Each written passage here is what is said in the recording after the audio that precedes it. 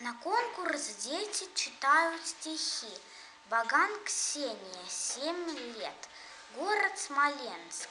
Александр Сергеевич Пушкин. Зимняя дорога.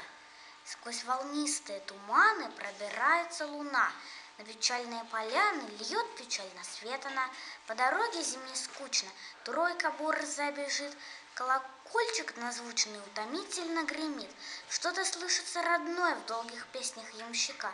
То разгулье удалое, то сердечная тоска. Ни огня, ни черной хаты, глуши снег навстречу мне. Только версты полосаты попадаются одни.